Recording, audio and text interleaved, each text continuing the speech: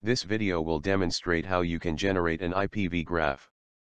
For those of you who are watching these tutorial series the first time, you can also head over to i-pv.org official website to see other videos that cover similar topics. The first thing you will need to make sure is that you have Circos version 67.7. You can download this version from the official website of Circos. If for some reason you cannot find this version, you can also download it from the official IPv website. You also need to make sure that you have relatively a recent version of Perl 5. For instance this video tutorial is generated on a Windows system with Perl 5.22. If you are working on Windows, it is recommended that you use Strawberry Perl. For those of you that are running on Mac and have difficulties installing some of libraries that Circos depends on, you can head over to official website of Circos for troubleshooting. You can either download IPv from the main entry page or the official website. Once you download the RAR file, unzip it and you will find two folders, a scripts folder and a Circos P folder. The scripts folder has the main script to generate an IPv graph as well as some helper scripts. The Circos P folder will have four folders, namely input, output, data tracks and templates. It is important that you do not change the location or the names of these folders, as the main script works on relative paths. The workflow of IPv requires you to first gather four files that is necessary to plot your data. You will need to place these files inside the input folder of IPv. The first file is your conservation values. This is simple text file with one number per line per amino acid that designates how well the amino acid at that position is preserved. There are many different ways to generate this type of data and it usually depends on the alignments that you use. However you can head over to the official IPv website to take a look at few general tips about how you can generate similar values for your protein. The second file is your protein sequence in FASTA format. You will find this sort of information in all public genome browsers such as Ensembl or UCSC. You can also download these from UniProt website. The third file you will need is your mRNA sequence. This is also just a text file with string of letters in FASTA format. You can download these from the previously mentioned public genome browsers or NCBI. The important thing is to make sure that the version of your protein sequence matches the mRNA sequence. For instance, you can verify this from the Ensembl Genome browser. The last file is your variation file. There are many open source and proprietary software that can give you this information and they come in slightly different formats. For demonstration purposes I will use the Ensembl Genome browser. For this tutorial we will be plotting NF-kappa B1 gene. First head over to Ensembl and type the gene name. We will be working with the transcript below the golden transcript which is usually marked with yellow. Copy the gene ID located in the upper part of the results. Now head over to BioMart tool and choose Ensembl variation from the drop-down menu. Next choose Somatic Short Variants and go to the Filter tab. Choose the Gene Associated Variant Filters tab and select the Gene Stable ID option. Here, paste the gene ID. Next, go to the Attributes tab and expand the variant associated information. The variant name and the variant source will be selected by default, so you can leave them as they are. We will not be needing the chromosome name, position start and end, so you can deselect them. On the right hand side, select the 1000 genomes minor allele frequency. You can close this tab and now expand the gene associated information tab. Here we will be needing the transcript stable ID and the transcript strand. You will also need the variant start encoding sequence and variant end encoding sequence. Lastly select the polyphen score and the SIFT score. Once you have selected all the necessary fields, click the results button. You can select the unique results only option, but it is not necessary as IPv will already filter out the duplicates for you. Once you are ready, click on the Go button and download the results. This might take a while depending on the length of the protein. Now let's take a look at this file for a second. Your file is a collection of tab separated columns with a single line of header. The first column is the variant name, these names will be used where possible to generate a link for each of the mutation for more detailed inspection. The second column is the variant source. The third column is the strand of this variation. Beware that it might not always be on the same strand of the gene as the DNA is a double helix. The fourth column is the variant alleles. This column encodes the actual change so it is the most important column. The fifth column is minor allele frequency from 1000 Genomes Project. The sixth column is the transcript stable ID. This column will be used to filter out the transcript which we are interested in. You can find this ID in Ensembl. Once you search for your gene, click on your gene name and open the transcript panel. Remember that we have chosen to work with the second transcript simply because the amino acid length of this transcript matches the amino acid length of the protein specified in UniProt. You will need to copy the first part of the transcript ID until the dot, because the part after the dot will not be in your variant file. Now that we have all the files we need, we have to modify one last part of the main script to start working with. Beware that this is a one-time change, if you have already done you can skip it. In your downloaded IPV folder go to the scripts folder and open the SNP2AA Perl file with a text editor. Search for a variable called mycircos with circos preceded by a dollar sign. Make sure that the variable points to the right location of the installed circos on your system. We will now start generating our plot. Start the command line and navigate to your scripts folder. Execute the SNP2AA Perl script. You will not need to modify the path so you can press enter and skip. Next you will have to specify the name of your protein sequence. If you remember we have saved this file inside the input folder as fasta.txt. So write down fasta.txt and press enter. The script will read through your FASTA file and strip it of any headers if present. Now you can start marking different parts of your protein. The script will ask you to specify the start of your domain. Now, these values depend on your protein and your preferences. So for demonstration purposes we will just plug in a random number of let's say 50. The script will ask you to specify the end of this domain.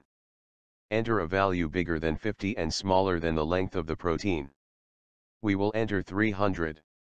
Next, the script will ask you whether you want to assign a property to this domain. Always say yes as this will allow you to give different colors to each domain other than the default gray color. Type yes or Y and press enter. You will be required to specify a name for the domain.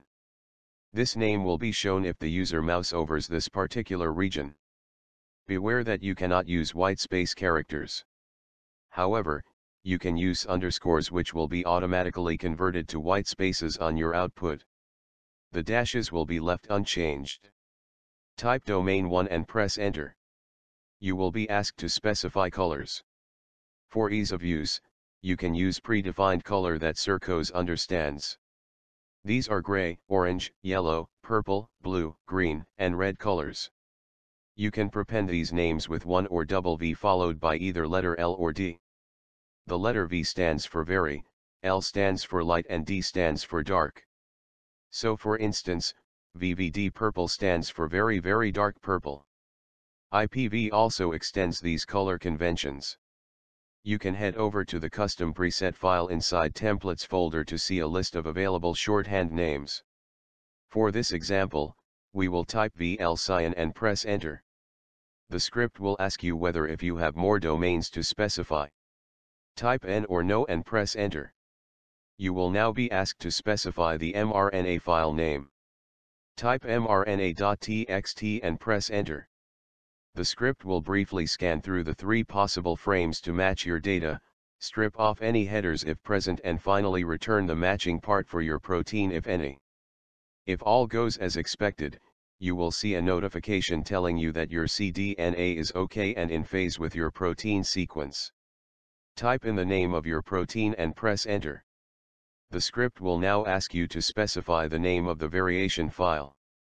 Type mart underscore export.txt, which we have saved previously under the input folder and press enter.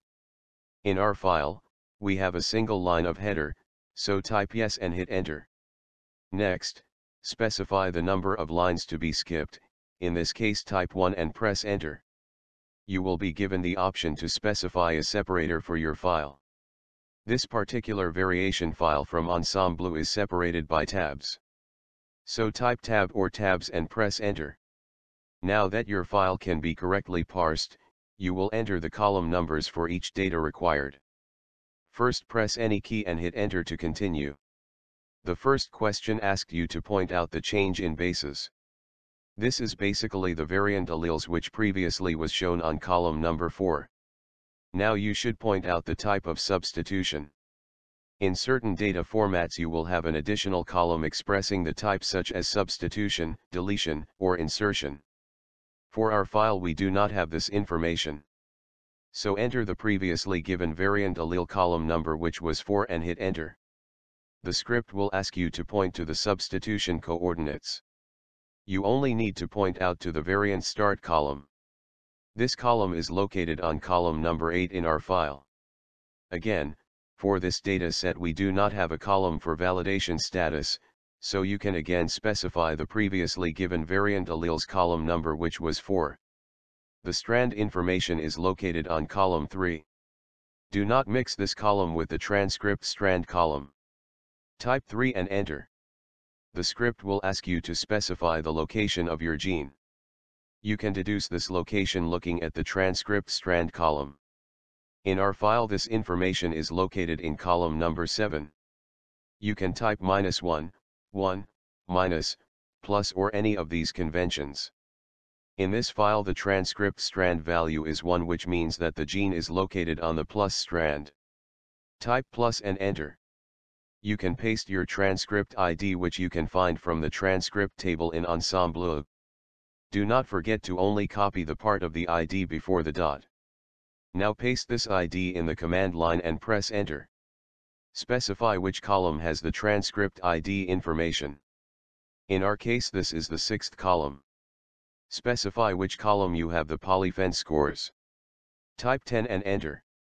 Likewise, specify the column where you have the SIFT score. Type 11 and hit enter. Lastly, you can specify the minor allele frequency column. In this file it is located at column 5. If in certain cases this information is not present, you can type NA instead.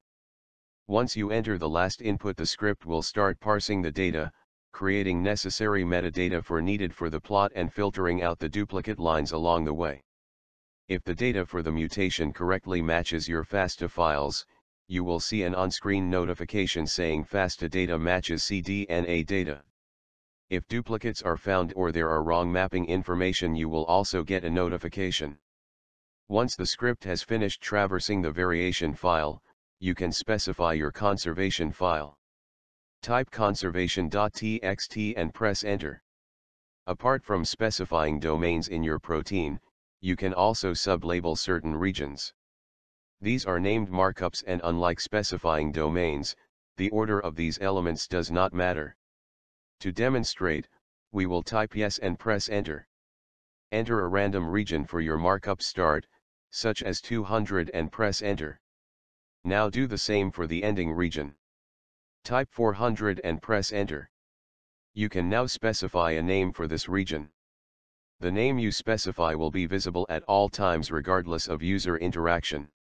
Remember to use underscores instead of whitespace characters.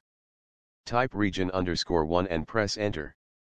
As always, say yes to assigning properties. This will allow you to modify colors. Give random property names such as prop. Type prop and press enter. Now specify a color name. Type VRED and press enter. We will end making markups by saying no. Type N and press enter. At this point all the data tracks are created. If you type exit and hit enter, the file handles will be closed. You can modify your data tracks manually and then execute invoke circos.pl script inside the scripts folder of IPV. For this tutorial we will directly proceed to plot generation. Press any key and hit enter twice to continue. Circos will start running. Depending on your protein and the number of mutations, this can take from anywhere between 30 seconds to 5 minutes. In the ending stage, JS templates will be inserted and your output will be generated in the output folder. You only need the file with the .html extension. The rest you can delete. Open your HTML file inspect if there are any page errors. You can easily do this by right-clicking on any part of the screen and selecting Inspect Element. After you select Inspect Element go to Console tab and check if there are any error. If you see none, then congratulations you have created your IPv plot. To peek into what additions the new version of IPv introduces head on to the next tutorial series.